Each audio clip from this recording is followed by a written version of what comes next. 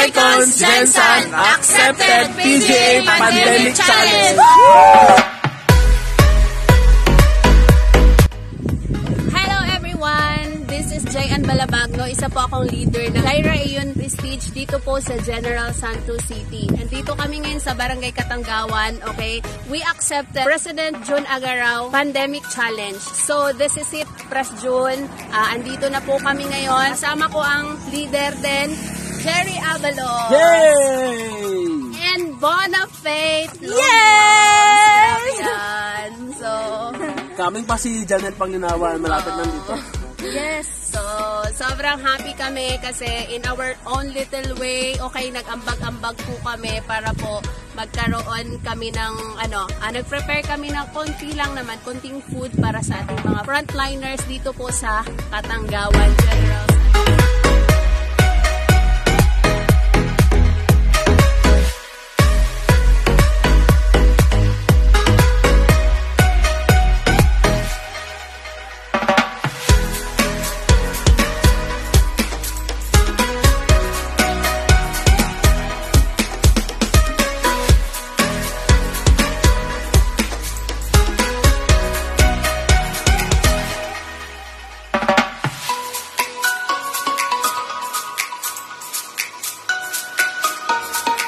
Okay, so yun na po. Bali, grabe natapos na po namin nabigay yung tulong natin sa mga frontliners.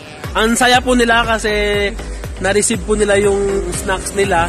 So actually maliit lang na bagay but yung thought na naalala sila at nagiging part sila ng ating uh, program. So I am so thankful din, masaya din ako yung feeling na nakatulong tayo sa kanila. So bigyan natin ng halaga yung ating mga frontliners because kung hindi rin dahil sa kanila, baka napahamak na rin po tayo.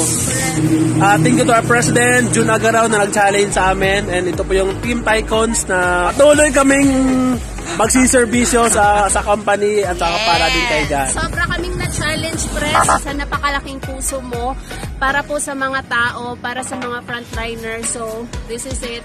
We accepted your challenge. So, we love you all.